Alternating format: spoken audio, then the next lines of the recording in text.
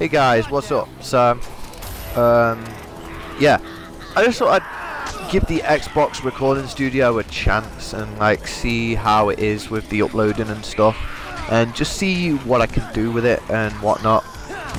So as you can see, I'm dressed as Bruce Lee on, of course, Dead Rising 3. Just doing the beer fish challenge. I mean, look at that. I'm only at level 11. You know, what the hell am I meant to do at level 11? You know what I mean? But I just thought I'd give it a test, give it a go, see how good it is.